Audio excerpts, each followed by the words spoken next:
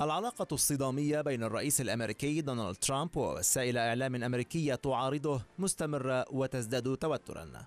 فترامب شن هجمات عنيفة جديدة على الإعلام المتربص بإدارته بعد سحب محطة سي أن أن مقالا من موقعها الإلكتروني متعلقا بالعلاقة المزعومة بين فريقه وروسيا مبررة سحبه بأن المعلومات الواردة فيه ليست بالضرورة خاطئة لكن الإسناد لم يكن كافيا ما أدى إلى استقالة ثلاثة من كبار صحفيها لكن ترامب استغل الفرصة ونشر خلال يومين ست تغريدات حمل فيها على ما وصفها بالأخبار الكاذبة أو وسائل الإعلام الكاذبة وسمى سي إن إن بأف إن إن اختصارا لاسم شبكة الأخبار الكاذبة. مقدما برنامج صباحي على قناة أم إس إن بي سي ميكا بريجينسكي وجو سكاربورو تعرضا أيضا لانتقاد لاذع من الرئيس الأمريكي بعدما انتقدت بريجينسكي عمل إدارته. ترامب كتب تغريدة قال فيها سمعت أن برنامج مورنينج شو ضعيف التقييم وتحدث عني بسوء. وأضاف في تغريدة أخرى أنهما أتيا إلى منتجعه في فلوريدا ثلاث ليال على التوالي وأصرا على الانضمام إليه. لكن المذيعين نفيا ما غرد به ترامب في مقال لهما في صحيفة واشنطن بوست وأشارا إلى أن كبار موظفي البيت الأبيض حذروهما من أن صحيفة ناشونال انكوايرر تخطط لنشر مقال سلبي عنهما إذا لم يناشد الرئيس وقف نشره. تغريدة ترامب بحق بريجينسكي لاقت ردود فعل عدة فالبيت الأبيض دافع عنها واعتبر أن الرئيس لم يبالغ بنقده لمقدمي برنامج مورنينج شو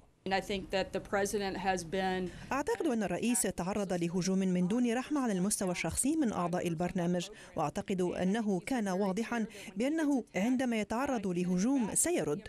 أعتقد أن الشعب الأمريكي انتخب شخصا قويا وذكيا ومقاتلا وهذا هو دونالد ترامب. ولا أظن أن الأمر سيفاجئ أحد أنه سيواجه النار بالنار. لكن زعيمة الديمقراطيين في مجلس النواب الأمريكي نانسي بيلوسي كان لها رأي آخر. حسنا هذا أمر يحزنني لأنه لا يليق بمقام رئيس الولايات المتحدة التصرف هكذا.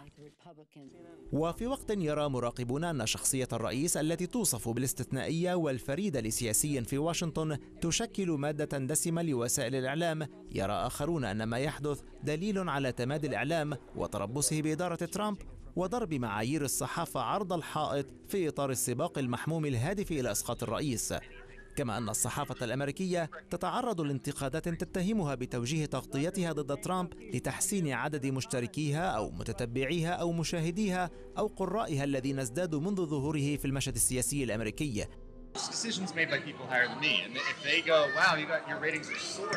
وما يعزز هذه الاتهامات أشرطة فيديو نشرها موقع بروجكت فيريتاس الإلكتروني ويظهر أحدها منتجا لدى سي ان ان صور بكاميرا خفية يؤكد أن تخصيص المحطة مساحة كبيرة للعلاقات المفترضة بين فريق ترامب وروسيا هو من أجل الجمهور المتابع. ويرجح مراقبون أن مخاطبة الرئيس الأمريكيين مباشرة عبر تويتر متخطيا وسائل إعلام تقليدية هو عامل إضافي في تدهور العلاقة بينه وبين هذه الوسائل.